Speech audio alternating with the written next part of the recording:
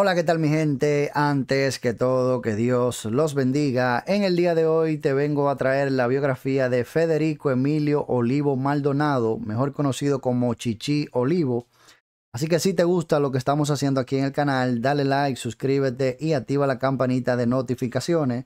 Y por ahí debajo, en la caja de comentarios, déjanos cuál biografía quieres para el próximo video. Así que, let's go.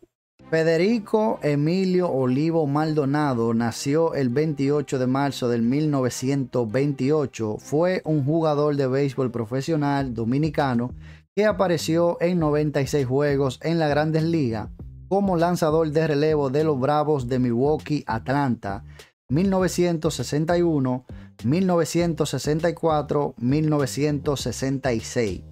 Nacido en Guayubín, lanzó y bateaba como diestro y medía 6 pies y 2 pulgadas de altura y pesaba 215 libras. Un hermano mayor, Diomedes, también era lanzador en liga mayores. Chichi Olivo tenía 27 años cuando firmó con los Bravos de Milwaukee antes de la temporada de 1955 y tenía 33 cuando hizo su debut en la Grandes Ligas el 5 de junio de 1961. Permitió un cuadrangular al primer bateador que se enfrentó llamado Jerry Lynch. Regresó al montículo nuevamente al día siguiente y permitió tres carreras limpias en solo un tercio de entrada. Lanzó una vez más tres días después, pero no regresaría a las mayores hasta dentro de tres años. Trompezó en sus dos primeras salidas en el 1964, pero se calmó sustancialmente a partir de ahí.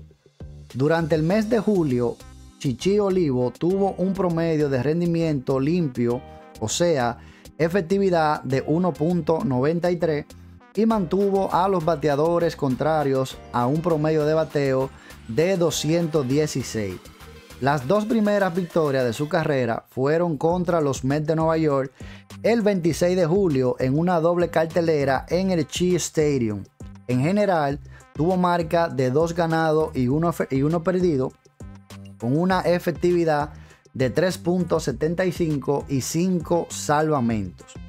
Después de dos apariciones en abril en el 1965, Olivo fue degradado a AAA Atlanta Crackers. Dominó la liga internacional con un récord de 9 ganados y 2 perdidos y una efectividad de 1.74 para ganarse el regreso a Milwaukee en septiembre de ese mismo año. Fue igualmente dominante lanzando nueve entradas y un tercio donde permitió solo una carrera limpia. Esa carrera llegó contra los Dodgers de Los Ángeles, cortesía de un sencillo de toque dentro del cuadro de Maury Wills en estrada en entradas extra. Después de llegar a la primera, Wills se robó la segunda y anotó con un sencillo con dos outs de Lou Johnson ante Dick Kelly para darle a Olivo su única derrota en la temporada. La última temporada de Chichi Olivo en las grandes ligas fue en el año 1966 para los recién trasladados Bravos de Atlanta. Tuvo marca de 5 ganados, 4 perdidos con una efectividad de 4.23 y 7 salvamentos.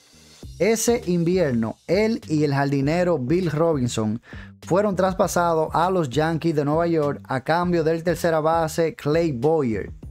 Lanzó una temporada para la filial AAA de los Yankees, los Syracuse Chiefs, con marca de 3 ganados y 0 perdidos, con una efectividad de 1.59 en 9 partidos en sus 96 juegos de la MLB, todos en relevo, Olivo compiló un récord de 7 ganados y 6 perdidos con 12 salvamentos y un promedio de rendimiento limpio, o sea, efectividad de 3.96, permitió 129 hits y otorgó 50 bases por bola con 98 ponches en 141 entradas lanzadas.